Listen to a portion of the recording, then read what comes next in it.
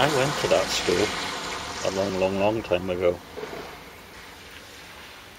So here's the plan for today, and today is Saturday the 26th of October 2013. It's 06.55, we're still on British summertime.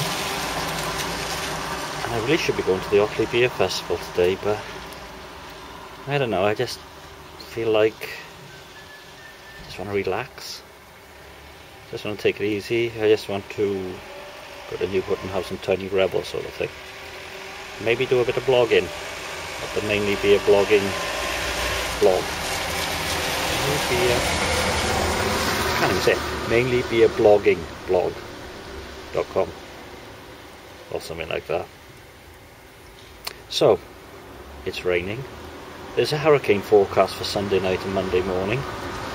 Um, it is mild. Rev up global warming.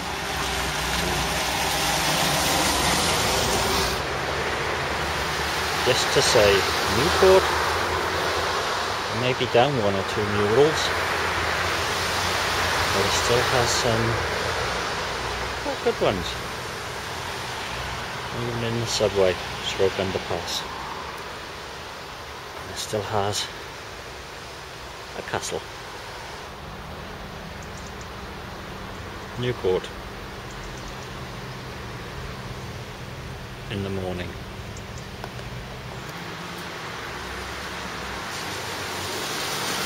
It's raining again, as Supertramp once said. Anyway, this one doesn't start serving until 9 o'clock, so it's cranberry juice and coffee for the win. And this is number one.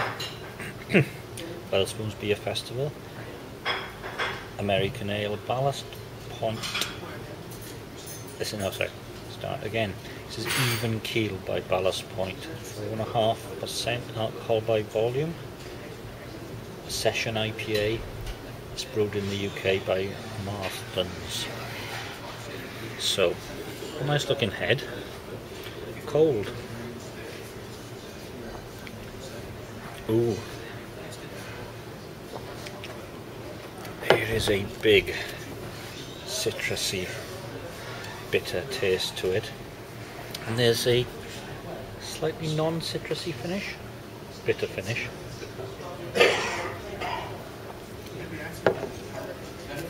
I like that. I think B++. Plus Number two, and I've been blogging in the meantime. Another American beer brewed in the UK. This is Harpoon IPA from Harpoon Brewery. 9.9% alcohol by volume. Yikes. Or worse to that effect. Brewed in the UK by Banks. So, uh, looks like a creamy head. Maybe a touch too cool. Although with American beers, who knows? Creamy start.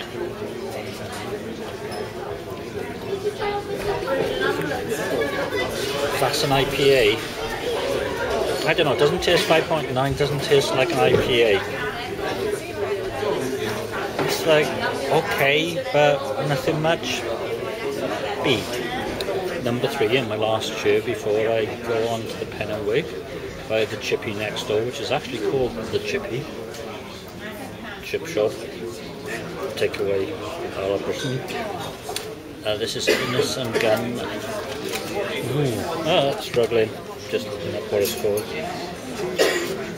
Toasted Oak IPA at 6.5% alcohol by volume. I feel a really night for tonight.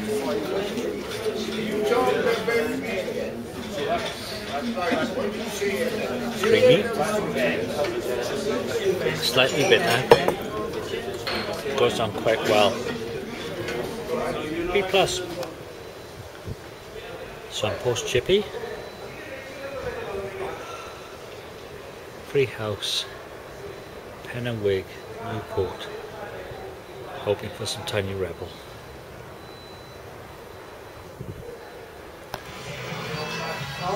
To the Who in the background.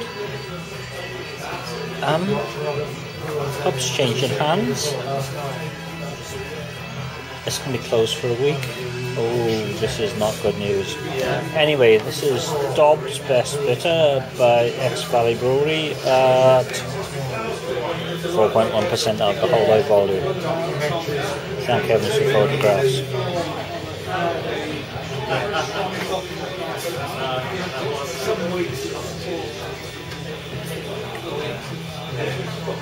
That's a nice bitter.